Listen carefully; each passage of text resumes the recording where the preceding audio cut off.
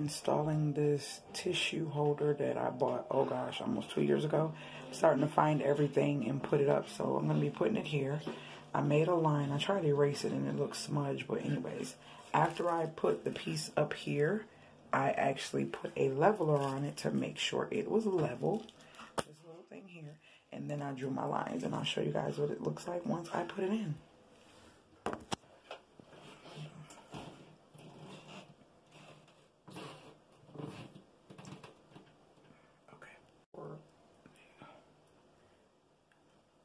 Make sure it's level.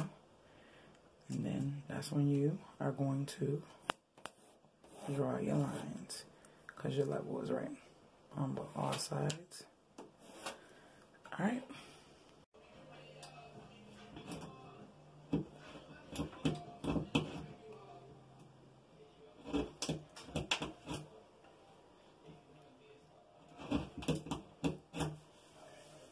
So my hole is cut. I have a little issue right here. My blade isn't that sharp, but you're not going to see that. So my hole is cut and I'm getting ready to, let's see. Yeah, we want it kind of snap, snug. So I got to have you use both hands. I'll be right back. Let me put so guys, just to recap, you draw your line with your pencil. Then after you draw your line, you're going to then cut directly on the line with a blade. Make sure your blade is sharp and be very careful with it as well. And then this is what it looks like once I popped it in. Sorry for the blurry picture, but you kind of get the idea. And then this is what it looks like with the tissue on the actual roll inside the recessed toilet paper holder. And this is what it looks like when it is closed. So people don't even know that's tissue. It just looks like some sort of decoration and it saves space. So let's go on to the video. Listen.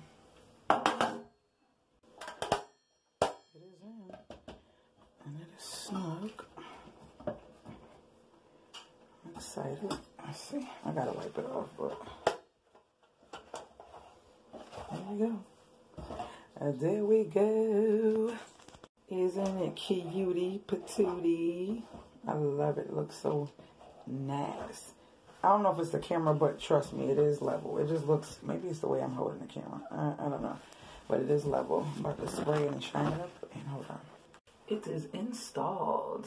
It's like mirror. Y'all see me? Y'all see me? Y'all see me? Yeah, I love it, love it. So now I got to clean up my mess.